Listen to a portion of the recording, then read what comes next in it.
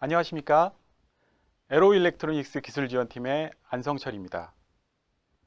최근 강화되고 있는 친환경 정책에 따라 ESS 및 전기차 시장이 크게 확대되고 있으며 Analog Devices에서는 관련 마켓을 target한 경쟁력 있는 신규 제품들을 출시하고 있습니다.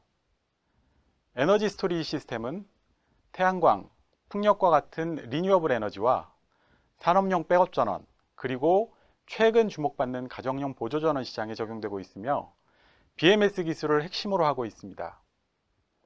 웨비나에서 소개해드릴 BMS IC는 말씀드린 ESS 시장을 타겟하며 신규 출시된 ADBMS 1818 제품으로 18채널의 셀 모니터링을 지원하며 기존 제품 대비 가격 경쟁력을 크게 높였습니다.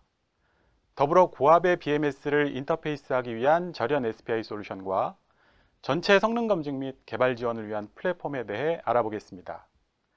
이와 함께 ESS와 연계된 EV charging 구조를 확인해 보고 충전 설비에 적용되고 있는 SiC 전력 반도체를 타겟한 절연 게이트 드라이버와 관련 제품들을 소개해 드릴 예정입니다. 본 webinar를 통해 ESS 및 관련 어플리케이션의 구조를 이해하시고 ADI의 경쟁력 있는 관련 신제품 정보를 얻으실 수 있는 유익한 시간이 되셨으면 합니다.